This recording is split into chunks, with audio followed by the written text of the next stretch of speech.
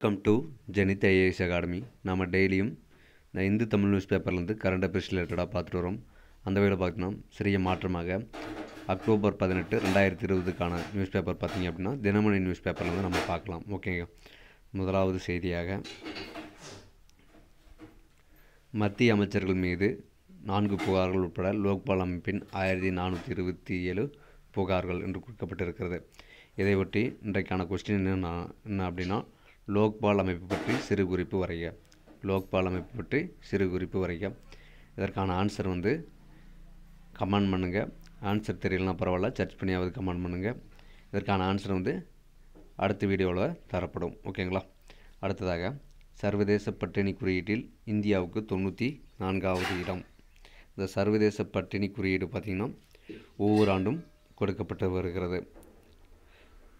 கொடுக்கப்பட்டு வந்து வருகிறது. நடப்பாண்டில் பார்த்திங்கன்னா சர்வதேச பட்டினி குறியீட்டில் வந்து இந்தியா வந்து தொண்ணூற்றி நான்காவது இடத்தை பிடிக்க பிடித்திருக்கிறது. சர்வதேச பட்டினி குறி குறியீடானது ஊட்டச்சத்து குறைபாடு உயரத்திற்கேற்ற உடல் எடை காணப்படாத ஐந்து வயதுக்குட்பட்ட சிறுவர்களின் எண்ணிக்கை வயதுக்கேற்ற உயரம் காணப்படாத ஐந்து வயதுக்குட்பட்ட சிறுவர்களின் எண்ணிக்கை சிறுவர்கள் இறப்பு வீதம் ஆகியவற்றின் அடிப்படையில் பார்த்திங்கன்னா அடிப்படையில் தான் இந்த பட்டினி குறியீடு வந்து வெளியிடப்படுகிறது. அந்த வகையில் பார்த்திங்கன்னா இந்தியா இந்த ஆண்டு தொண்ணூற்றி நான்காவது இடத்தில் இருக்கிறது.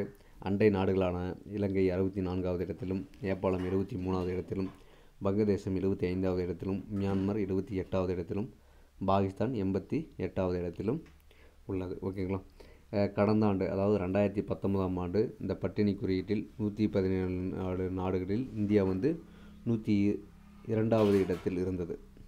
ரெண்டாயிரத்தி பத்தொன்பதாம் ஆண்டில் நூற்றி இரண்டாவது இடத்தில் இருந்தது. தற்பொழுது தொண்ணூற்றி நான்காவது இடத்திற்கு முன்னேறியுள்ளது. சர்வதேச பட்டினி குறியீட்டு. ஓகேங்களா அடுத்ததாக நியூசிலாந்து நாடாளுமன்ற தேர்தல். மீண்டும் பிரதமராகிறார் ஜெசிந்தா ஆடன் என்று குறிக்கப்பட்டிருக்கிறது. அதாவது பார்த்திங்க அப்படின்னா நியூசிலாந்து நாடாளுமன்ற தேர்தலில் பிரதமர் ஜெசிந்தா ஆடனின் தொழிலாளர் கட்சி பெரும்பான்மை வாக்குகளுடன் வெற்றி பெற்றது. அதைத் தொடர்ந்து பார்த்திங்கன்னா நியூசிலாந்தின் பிரதமராக மீண்டும் இரண்டாவது முறையாக ஜெசிந்தா ஆடன் வந்து பிரதமராகிறார். நியூசிலாந்தில் பார்த்திங்க அப்படின்னா கடந்த ஆயிரத்தி தொள்ளாயிரத்தி தொண்ணூற்றி ஆறாம் ஆண்டு முதல் விகிதாச்சார தேர்தல் முறை அமலுக்கு வந்தது. அதன் பிறகு பார்த்திங்க அப்படின்னா அந்த நாட்டில் பெரும்பான்மை வாக்குகளை பெற்று ஒரு கட்சி ஆட்சி அமைக்க உள்ளது பார்த்திங்கன்னா இதுதான் முதல் முறை. டைரெக்டாகவே கொஸ்டின் கேட்கலாம். நியூசிலாந்தின் பிரதமராக பதவியேற்பவர் யார்? ஜெசிந்தா ஆடன் ஓகேங்களா?